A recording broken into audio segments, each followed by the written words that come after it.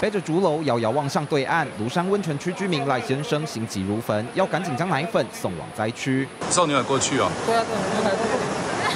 因为出生六个月大的儿子只愿意喝单一品牌奶粉，加上路要通，不知道要等到何时。赖先生七号徒步把奶粉送回家。但是没有路也是要绕过去，一定要奶粉一定要送到这样。这边本来要调过去，他们他们说不方便，叫他绕后山过去。平常五分钟的路程，可是赖先生花了将近两个小时。奶粉危机暂时解除，事隔一天，妻儿也在搜救队协助下脱困，家人终于团圆。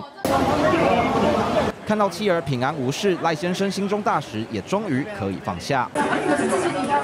好不容易安顿好宝宝还有妻子，赖先生却打算回到灾区，因为还有一个孩子留在对岸，他也打算协助其他受困灾民脱困。对啊，小孩子没有奶粉吃啊，没有奶粉吃，所以很着急哈。又又怕说到时候有没有？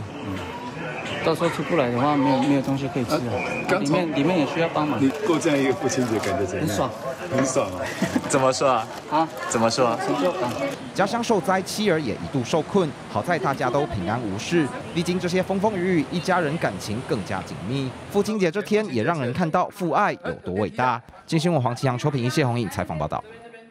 立刻下载静新闻 App，一手掌握新闻时事，尽善尽美，尽好新闻。